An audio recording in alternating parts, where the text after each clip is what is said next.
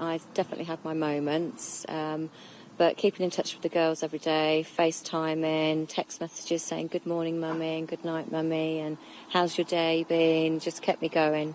I knew that there would, you know, be a time when we would all be back together soon. Hetty, I know Auntie Charlotte was really good fun, but how difficult was it for you to be away from It was really hard um, not seeing Mummy, but um, Bella always said, "Can we teleport